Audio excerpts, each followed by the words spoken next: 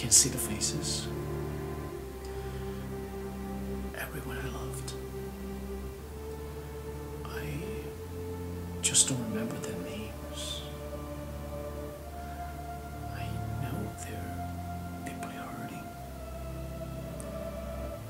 I've tried to apologize for, for what I've done, for who I was, none of it makes it any better.